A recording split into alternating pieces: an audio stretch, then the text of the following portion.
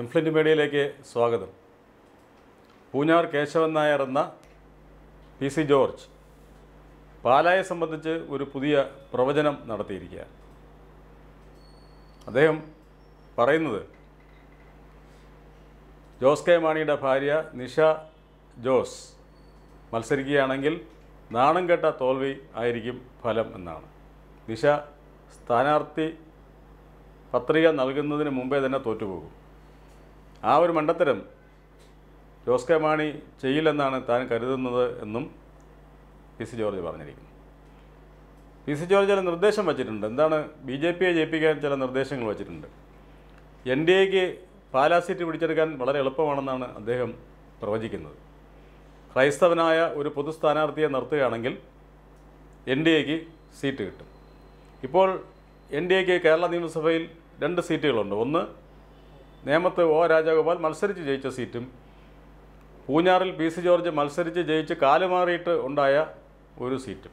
അങ്ങനെ N D എക്ക് രണ്ട് സീറ്റാണ് ഇപ്പോൾ നിയമസഭയിലുള്ളത്. അടുത്ത നിയമസഭാ സമ്മേളന കാലത്ത് എൻ ഡി എക്ക് മൂന്ന് സീറ്റുണ്ടാകുമെന്നാണ് അദ്ദേഹത്തിന്റെ മറ്റൊരു പ്രവചനം.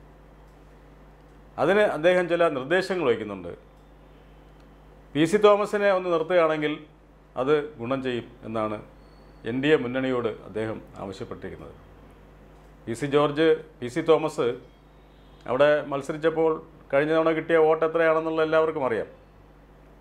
ലോക്സഭയിലേക്ക് മത്സരിച്ചപ്പോൾ പാലാ മണ്ഡലത്തിൽ ഉൾപ്പെടെ അദ്ദേഹത്തിന് വളരെ മോശപ്പെട്ട വോട്ടാണ് കിട്ടിയത്. എന്നാൽ നിയമസഭയിൽ വരുമ്പോൾ അദ്ദേഹത്തിന് പ്രത്യേകിച്ച് എന്തെങ്കിലും ഗുണഗണങ്ങൾ ഉണ്ടാകുമായിരിക്കും. എന്തായാലും അതൊരു ക്രൈസ്തവ പൊതുസ്ഥാ പക്ഷേ അദ്ദേഹം അങ്ങനെ പൊതുസ്ഥാനാർത്ഥിയാവുന്നത് ക്രൈസ്തവ സ്വതന്ത്ര പൊതുസ്ഥാനാർത്ഥിയെ നിർത്തുകയാണെങ്കിൽ പി സി തോമസ് എങ്ങനെയാണ് പൊതുസ്ഥാനാർത്ഥിയാവുന്നത്? അപ്പോൾ പൊതുസ്ഥാനാർത്ഥിയെ നിർത്തിയാൽ ആ സീറ്റ് പിടിച്ചെടുക്കാം എന്ന് പറയുന്ന P C George P C തോമസിനെ മത്സരിപ്പിക്കുന്നതിലൂടെ ജയിക്കാമെന്നും പറയുന്നു. എന്താണ് അദ്ദേഹത്തിന് തന്നെ ഒരു വ്യക്തതയില്ല. ഇപ്പം P C Thomas N D എയുടെ സ്ഥാനാർത്ഥിയായിട്ട് നേരത്തെ മത്സരിച്ച ആളാണ്. ഇപ്പം നിയമസഭയിൽ അദ്ദേഹം ഒരു കൈ നോക്കാൻ ബി ജെ പി അല്ലെങ്കിൽ എൻ ഡി എ നിയോഗിക്കുകയാണെങ്കിൽ അദ്ദേഹം നോക്കുമായിരിക്കും. പക്ഷേ എന്തായാലും അവിടെ ഇത്തവണ യു ഡി എഫിന് വലിയ സാധ്യതയൊന്നും കാണുന്നില്ല എന്നാണ് അദ്ദേഹം പറയുന്നത്. നിഷ ജോസ് കെ മാണിയെ നിർത്തരുതെന്ന് മാത്രമാണ് അദ്ദേഹം പറയുന്നത്. അതിലാണ് ഒരു അവരിൽ നിന്നാൽ തോറ്റുപോകുന്നത്. പക്ഷേ വേറെ ആര് നിന്നാൽ ജയിക്കുമെന്ന നിർദ്ദേശമൊന്നും അദ്ദേഹത്തിന്റെ ഫലപ്രവചനം അദ്ദേഹത്തിന്റെ ഈ ജ്യോതിഷ പ്രവചനത്തിൽ കാണുന്നില്ല എന്നുള്ളതാണ് വസ്തുത. ബി ജെ പി ഒരു സ്ഥാനാർത്ഥിയെ നിർത്തിയാൽ അതിന് വിജയസാധ്യത ഇല്ല എന്നും പറയുന്നുണ്ട്. ബി ജെ പിയുടെ ഒരു തനി സ്ഥാനാർത്ഥി അവിടെ നിന്നാൽ വിജയസാധ്യത ഇല്ലെന്നും അദ്ദേഹം പറയുന്നുണ്ട്. ഇപ്പോൾ അവിടെ പറഞ്ഞു കേൾക്കുന്ന ഒരു പേര് പി സി ജോർജിന്റെ മകനായ ഷോൺ ജോർജാണ്. നമുക്കെല്ലാവർക്കും അറിയാം ജഗദീഷ് ശ്രീകുമാറിന്റെ മകളെ വിവാഹം കഴിച്ച ചെറുപ്പക്കാരൻ. ആ ഷോൺ ജോർജ് സ്ഥാനാർത്ഥി ആകുമോ എന്ന ചോദ്യത്തിന് പി സി ജോർജ് പറയുന്നത് അവൻ സ്ഥാനാർത്ഥിയാകാൻ സാധ്യത ഇല്ല എന്നാണ്.